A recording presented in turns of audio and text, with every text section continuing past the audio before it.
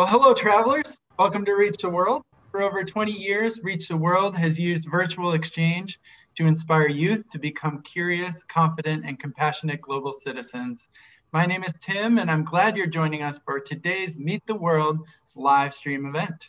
The Meet the World pro uh, program builds positive personal connections between students in the US and global cultures, all through direct interactions with real people who are excited to share their countries and cultures with you. For a complete listing of upcoming Meet the World live stream events, you can always visit athome.reachtheworld.org. Today, we are going to be traveling to Nigeria with Fulbright Foreign Language Teaching Assistant, Obialua Taiwo, and he's going to do a better job of pronouncing his name when I'm finished here. I apologize, apologize up front. Uh, is from Ibadan, Nigeria, and he's currently teaching the Yoruba language at Fayetteville State University in Fayetteville, North Carolina. He's teaching remotely this year as part of the Fulbright program, and he's joining us today from Nigeria to tell us more about his home country and culture. I'm very, very excited to hear more. But before I turn things over, I want to welcome the teachers and students who are watching today's Meet the World live stream event. Please feel free to use the YouTube chat bar to let us know you're here, where you're joining from, and of course, to share any questions you have for our guest as we go.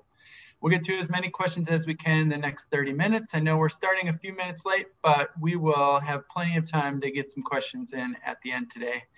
And with that, it's time to take a journey to Nigeria. Obilua, welcome to Reach the World. All right, thank Tim for that wonderful introduction. Anyway, I will still try to readjust in some pronunciation. Once again, my name is Opeoluwa Taiwo, and I'm from Nigeria. Presently, I'm teaching remotely uh, due to the COVID-19 restriction. I was unable to travel down to the US.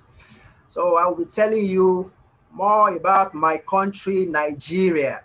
So first of all, I would like to start with myself. You can see my costume. You can see Nigeria. That's our flag, green, white, green. Yeah, it shows that we, I am from Nigeria. Uh, and I said I would like to introduce myself so that you have a better of understanding. Because Nigeria is a great nation. We have about 500 languages and ethnic groups in Nigeria. So imagine I'm representing the interests of over 200 million Nigerians.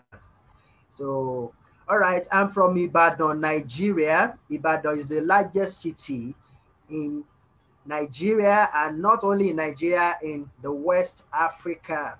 So Ibadan is a large city throughout the Africa, is one of the record well-known city in Africa. So that's where I am from. So imagine that you will listen and have the opportunity to explore so many things about Nigeria. And for me to have the antecedent, the background of Ibadan, meaning uh, I'm loaded today to give you lots of information about Nigeria as a whole. I will be sharing my screen so you be able to. All right. Can you see my screen? Uh, see, not is my not, screen not yet. Um, I can see you still. Um, not yet with the screen share. Okay.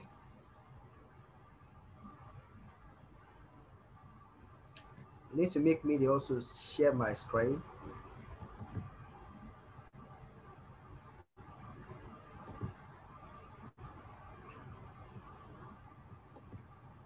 You need to make me the host to share my screen. Right. Second. Sorry for that. As Tim is trying to fix that for me to be able to share my screen. Uh, let me continue by telling you more about Ibadan city. Uh, Ibadan is the largest city, as I earlier said, and if you come to Nigeria, Ibadan happens to be the host of the first university in Nigeria. So when you get to Nigeria and you ask where is the first university located, that's my hometown in Ibadan. We also have the first uh, television station That's also in Ibadan city. So meaning, the meaning Ibadan, also uh, remarkable and wonderful landmarks. So when we are talking about Nigeria, we need to talk about Ibadan because there are some ancient landmarks in Ibadan, Nigeria. And not only Ibadan, Nigeria, we also have some other important places. All right. So we also have people can explore. All right, let me share my screen now.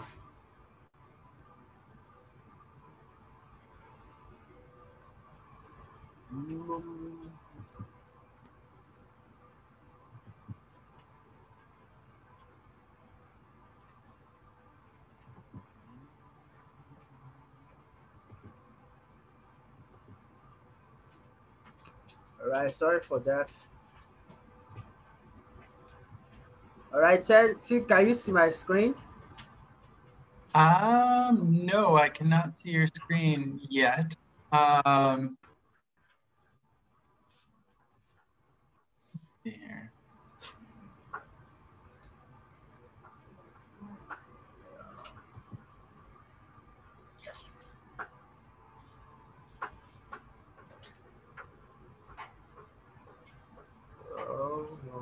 I think you are. Do you have the the green arrow in the bottom, right in the middle? There's at the bottom. There's the, the green arrow that says uh, share screen. Okay. Yeah, I, I I have it now. Yeah, I have it now. There we go. Okay. What about that? Okay. Now so I welcome you. So let me just go quickly because of our time to the main uh, presentation. So here we go. I would like to start with the map of Nigeria on the globe. So you can see Nigeria is located in the heartbeat of Africa. You can see the position of Nigeria. This is a map of Africa and this is the globe, world entirely, world entirely. So after you are able to locate Africa, you can see the position of Nigeria is at the heartbeat, meaning Nigeria is very germane, is very, very important when we talk about Africa. We are referred to as the giant of Africa because of the economy and some other factors. And Nigeria happens to be one of the 56 countries in Africa. Yeah, one of the 56 countries in Africa. And also Nigeria is the 33rd largest country in the whole world.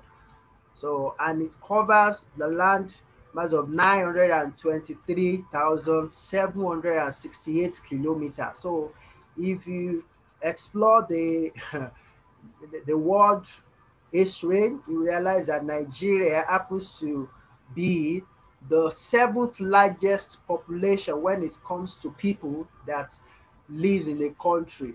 Nigeria is the largest population, the seventh position after the US, the China, the Indonesia, and other countries of the world.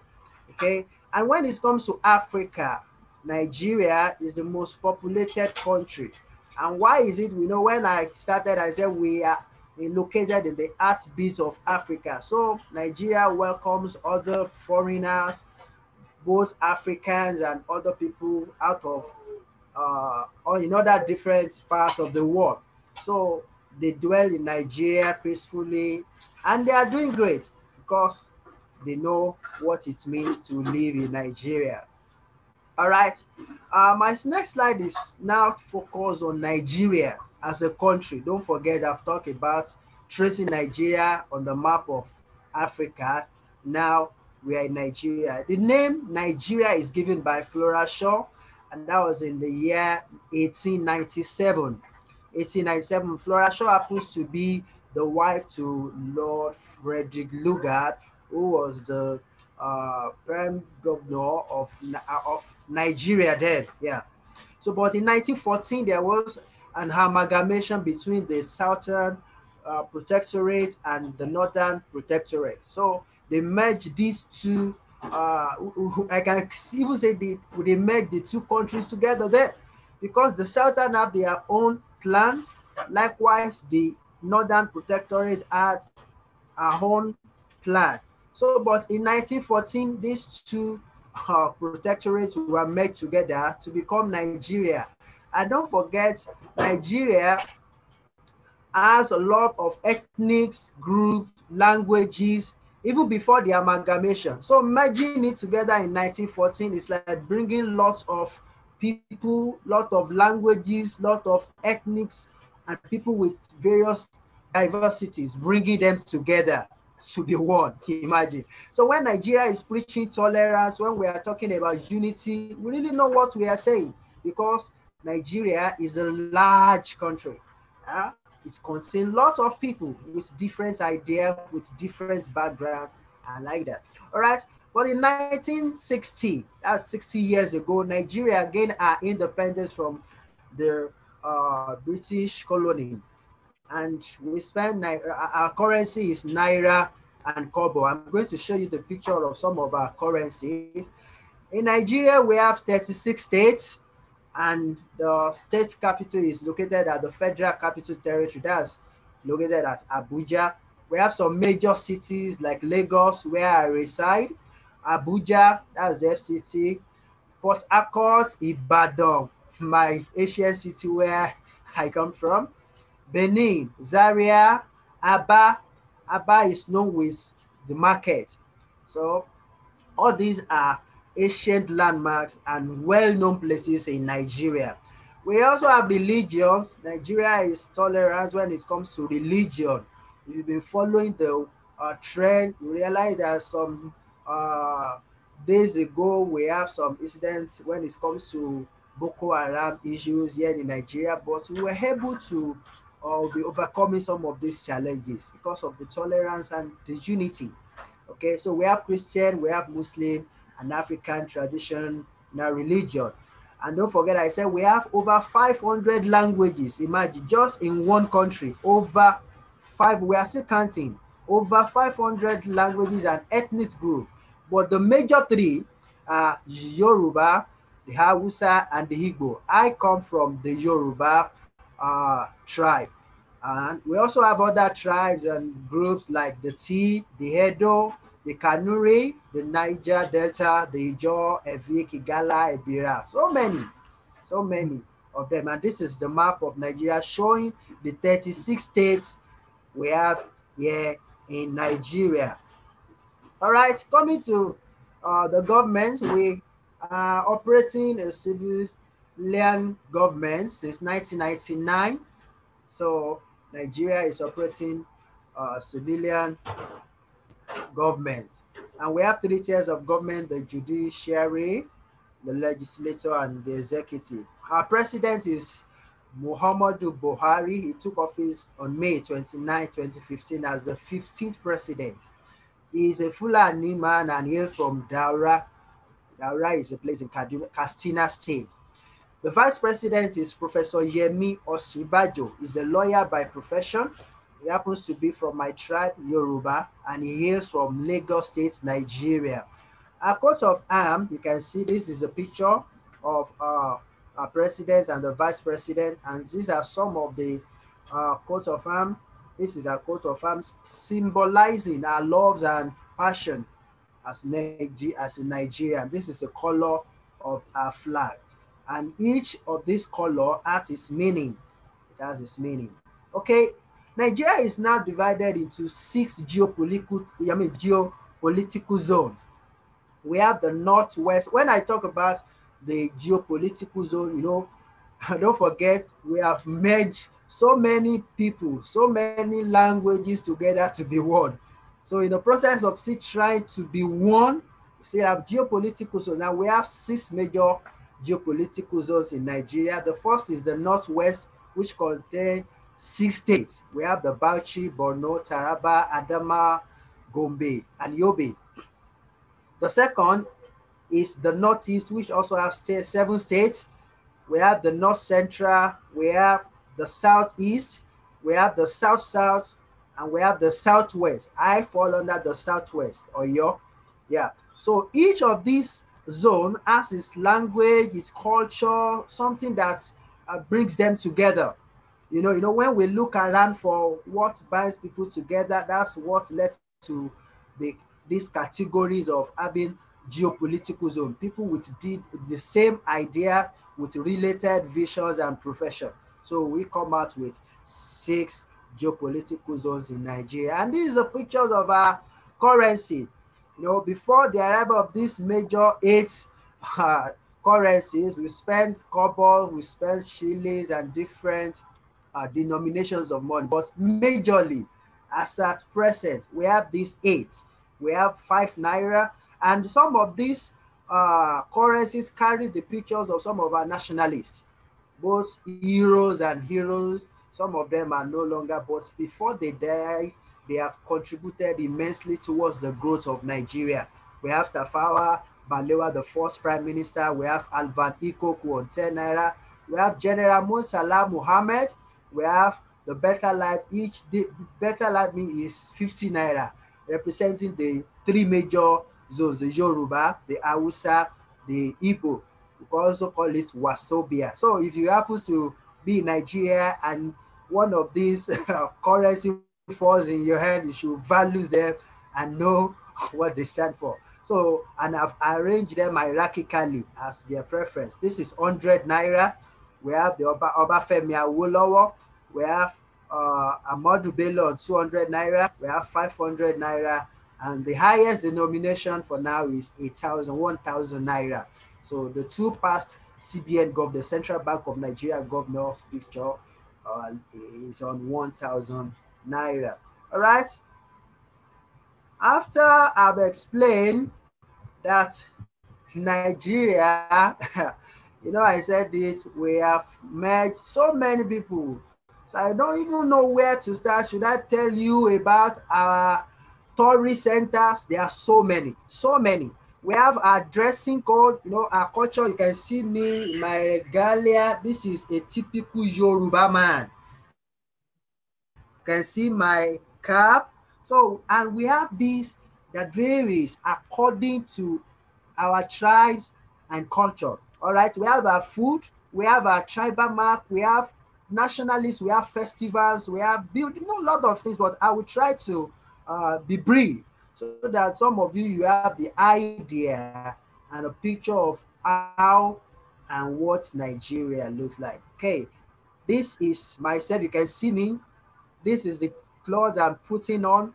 Uh, this is a picture I took in 2018 during uh, a festival is celebrating the children. They were making, marking and celebrating uh, Culture Week. Yes, this is a school in Nigeria, Great School, Lagos, Nigeria. You can see those little kids. We catch them young so that they know what it means to be a Nigeria. So hardly will you find a Nigeria that won't be able to tell you history and what it means to be a Nigeria. So this is my, you can see myself. Okay, this is one of our actors in Nigeria, Femi Adebayo. So we're celebrating uh, culture, culture week then, call this culture week. So from there, we move on to different style, different attires that shows uh, people from their tribe. This is a Yoruba attire. You can see them. These children are representing Yoruba. And another common cloth among the Yoruba people is Agbada. Agbada is a very big regalia. Okay. We have the Igbo costume. They have their own Isiagu. You know, this is a special cloth. The picture depicted on it is the lion's head, showing how brave they are, showing how strong. I'm very sure none of you can see a lion and say, Hi, you will run. So the Igbo people shows that they are brave, they are active, and they are showing that they are these are presidents putting on the Igbo, Igbo costume. All right. We also have the Tiv people. They usually put on white and black cloth. We have the Efik. These, these, these people, they are from Cross River State in Nigeria. Don't forget, I said we have 36 states in Nigeria. So this is just representing one out of those states. So Cross River is another place to be in Nigeria. All right. Now I will be discussing some of our tourist centers. The first is Zuma Rock. Zuma Rock is 2,379 feet tall above the surface of the earth. You can see, and it's located along uh, Abuja. If you are going to the federal capital, you will surely come across this big rock. And you know one funny thing about Zuma Rock?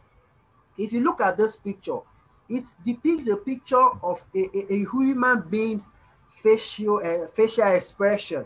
It's as if the face of a, the face of a man is imprint on the rock, and this is natural.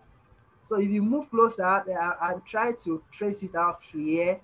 So it looks, if you look very close to this Zuma rock, it will look as if a human being is looking, it's watching as people that are moving in and moving out. So people residing around Abuja believe that this is one ancient man that you cannot joke, joke with in Nigeria. Okay, that's Zuma rock. We also have another rock. Can I can I interrupt for just a second? Sorry, sorry to interrupt, okay. but can you okay. um, make your can you make your slide full so we can see the pictures a little bit larger? Um, maybe okay. using the the view or the presentation tool. Um, yeah, like um, if you go up to view at the top. Okay, what about this? Should be. Um, yeah, that's that's better. Thank you. All right. Okay. You're welcome. So this is another ancient rock. It's located uh, around Ogun State, Nigeria. This is Olumo Rock. Olumo Rock. This place serves as a refuge for people in the 19th century. Whenever there was war, they quickly run towards this rock and hid themselves. But that makes me to remember a song. They say, "Rock of Ages cleft for me." So it's a hiding place from the enemy. So the enemies won't be able to see them once they eat themselves under this rock. This is located at Ogun State, Nigeria. Oh, this is Sogidi Lake. You won't believe the story behind this lake. Uh, I will quickly try to tell you why because of our time. The meaning Sogidi is from the Yoruba sentence. They say a Sogidi meaning good fruits. You know, the story behind this lake happens to be in the uh, is I think 16th century. Yeah, in 16th century, you know, we have some uh, dwellers from. Ileife is a uh, story is a story is a place where all Yoruba people are from. So after they left Ileife, they got to this place along Oyo, you know, then we have Oyo Empire before they bring, we, we, we were merged together. So Sogidi River happens to be a place. So after the hunters were searching for water, for place to reside, they saw some baboons, some monkeys jumping from one tree to another. So they were able to trace down those monkeys to where they were drinking this water and say, wow, so this is a lake. That means we can reside around this place since we have water to be drinking. And imagine when they bring out the water to drink, they realized that there are some strange creatures inside this water. They saw a mermaid. Huh, do you think we can drink this water? And the mermaid assured them that no, you are free. We can you can stay. You can drink the water. He said, and he said, ah, Are you sure we can drink this water? I said, You can drink the water. And as they are moving around the water, they saw different fruits. When they ate the fruit, they, well, this fruit is good. So the meaning of good in Yoruba is gidi.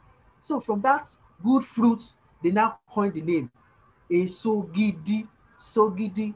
And from there, they started calling this water Sogidi, Sogidi, Sogidi, meaning from this place we were able to find a good fruit to eat, apart from drinking the water.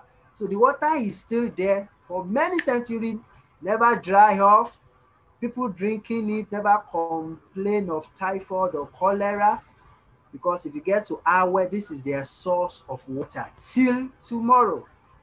Yeah you can see 1750 i think i need to be fast because of my time All right, this is another major celebration in Nigeria. It's called Argungu Fishing Festival.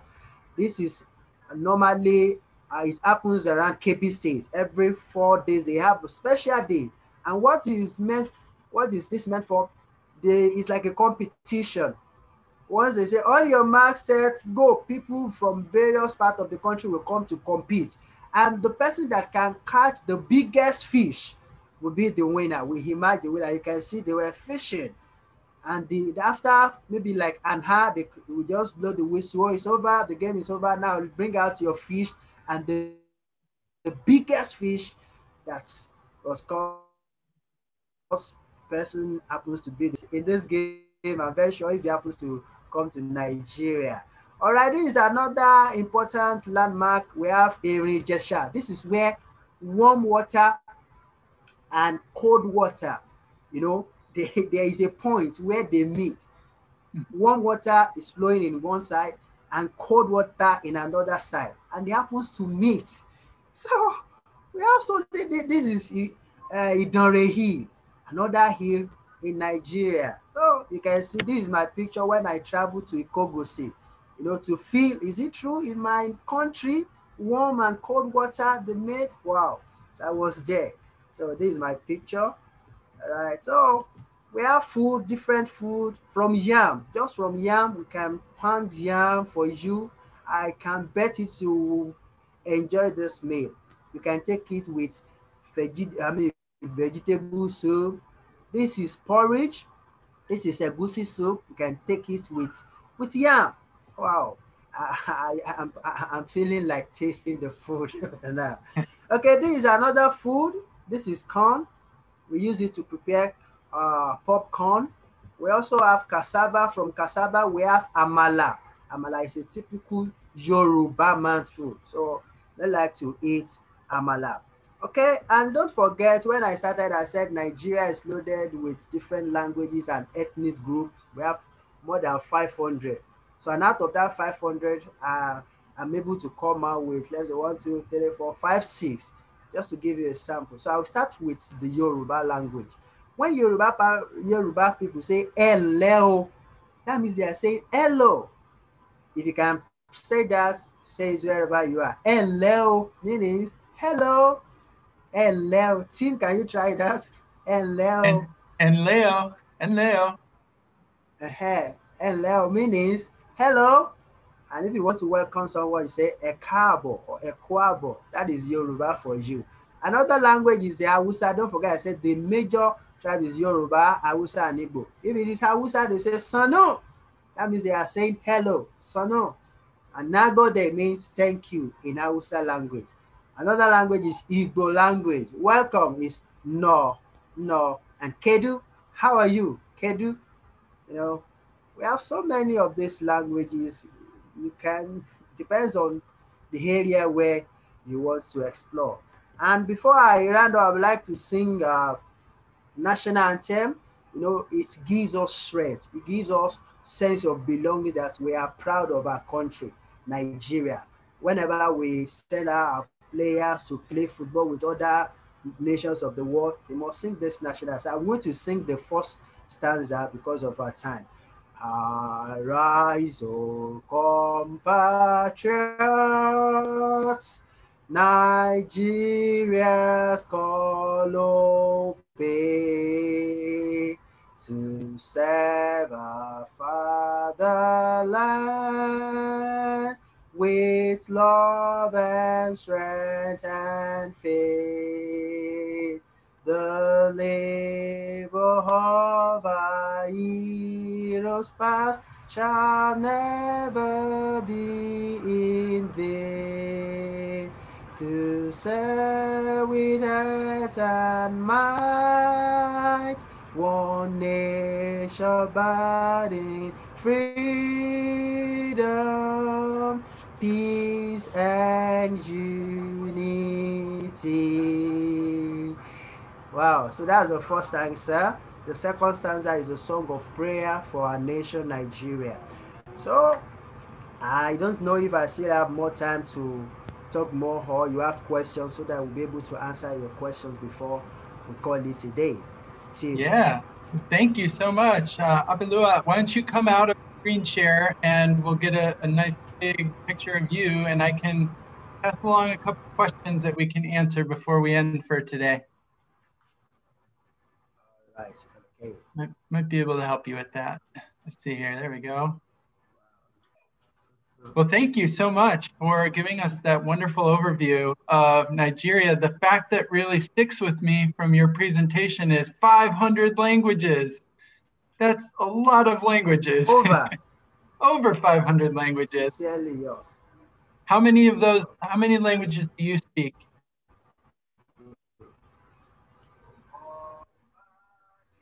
For me, I speak uh, English, Yoruba, and I speak another little of Hausa, little of Hausa, little of Hausa. I can Okay. speak just, let's say, two out of so many.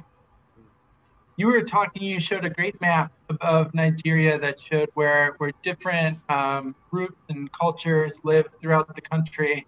Uh, I wonder how easy it is to, or how often um, people from one region go and participate in the celebration and customs of other regions, or are the um, different um, customs really just celebrated by certain groups? That's why I said when in 1914, in 1914 when all these uh, protectorates were merged together, you know, all of them have their own specialties. They have their own languages. They have their own uh, celebration. And in order to keep that spirit moving, that's why we have geopolitical zones. So people that are very close to themselves, they can celebrate their own life. That's why we have six geopolitical zones. So out of each geopolitical zone, we also have different, you know, each of them celebrates their own uh, festivals, their own uh, culture, their own food. For me, in my own state, we celebrate uh, Egungun. Egungun is like a masquerade, and we also have some fruit. We have uh, issue, the, the yam that I show you is a festival. We have Oshun Oshogbo Festival. Oshun Oshogbo Festival is celebrated around Oshun State, where you know the gods of the water. So we have different uh, areas according to their own culture. They celebrate it. So, but I've talked about the major ones in Nigeria. Okay, I think you So mentioned it. means we can't explore. We, we, we- we can't explore all. So I just mentioned few of them. I, I realized as you were speaking what a big task it is to ask you to introduce this entire country that has so much uh, diversity and, and variety in it. Uh, it's, it's a big task. You did a good job of, of giving us an overview. Um, my question for you, and I think you mentioned this while you were speaking, uh, is that you are in Lagos right now. Yeah, yeah. Uh, what- I'm in what- Lagos, Nigeria. what is your everyday life like in Lagos? Like what on an average day, what do you do from the moment you wake up to the moment you go to sleep generally? Well, I would deceive you. Lagos is a very busy, one of the busiest places in Nigeria. Imagine two, three, even in the night, people are still moving because it's like a center of business. And you know, for me here in Lagos is is always wonderful. As I told, it's always busy. I see people engaging in different things, their business, those that are traders, those that are you know, a lot of activities. It's a busy day always busy day always. So lagos is always busy. And for me you know after going to my work i return and at times you need to struggle to board. Or if you don't have your personal car you need to you know struggle because we have lots of people here in lagos that wants to move from one place and you need to cover up the distance within a very limited time. So everybody needs to be fast and active. So it's a very busy day always here in Lagos. Okay, very good. Uh, I know that you are teaching remotely um, at in at uh, in um, in North Carolina. I wonder if you could tell us um, what that experience has been like for you teaching um, your Yoruba language uh, to U.S. students. Well, thank you for that uh, question. Uh, sincerely, your Yoruba language has been interesting. You know, I would have loved to show you a slide of some uh, Americans putting on something like this regalia. And there was a time I think I I met some people they come they came from US that's interested in learning Yoruba. So for me to be teaching online, wow. Apart from the fact that I'm able to reach out to so many students at a time, I'm able to, you know, learn how to use technology to present my word, you know, to let me know what is happening in my zone with a very easy way using technology. Some of my students at Fayetteville State University have been, so some of them even want to come down to Nigeria and they are praying this COVID-19 so that we're able to come and show them pictures, deal with them physically so that we can learn more. So it has been wonderful. It has been wonderful. And, you know, the online has been another resource for me to explore and to be effective in teaching the Yoruba language. Yeah. Well, I'm, I'm very glad to hear that. And I know that um, learning more about Nigeria, just this beginning taste of all the amazing things you can explore in Nigeria.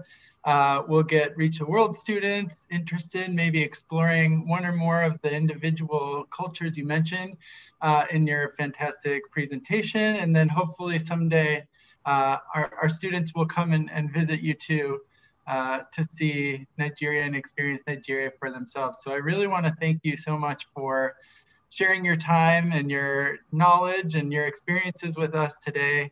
This has been a lot of fun. I also want to thank our entire live stream audience for going on this journey with us. Reach the World will be hosting many more Meet the World live stream events over the coming months, and you're always invited to virtually travel the world with us. You can visit at athome.reachtheworld.org for more information. Until then, and thank you so much. We will see you all next time. Thank you.